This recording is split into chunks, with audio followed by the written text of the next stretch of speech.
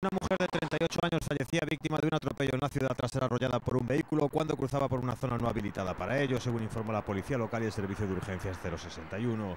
El trágico suceso sucedía ayer por la noche pasadas las 10 en la avenida Otero Pedrallo frente a la Escuela de Idiomas de la ciudad. Según fuentes policiales, la mujer, vecina de la localidad urensana de Bárbadas, estaba cruzando por un lugar no habilitado cuando un vehículo que circulaba en sentido salida de la ciudad la atropelló. Hasta el lugar se desplazó una ambulancia medicalizada que trasladó a la mujer en estado crítico al complejo hospitalario universitario de Urense, donde fallecía horas después.